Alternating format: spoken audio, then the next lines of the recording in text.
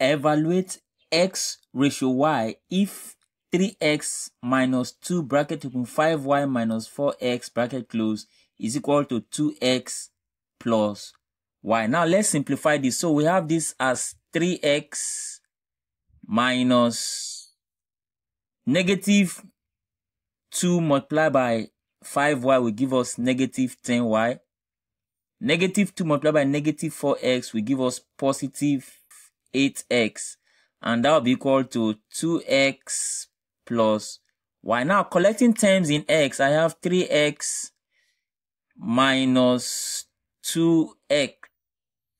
When this positive 2x comes to that, it becomes negative 2x.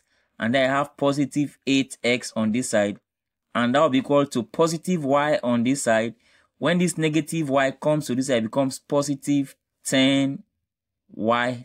So 3x minus 2y is x plus 8x will give us 9x. And that will be equal to y plus 10y will be 11y. So now the trick here is I'm taking x divided by y, x on the left hand side divided by y on the right hand side. It will be equal to now I started with x on the left.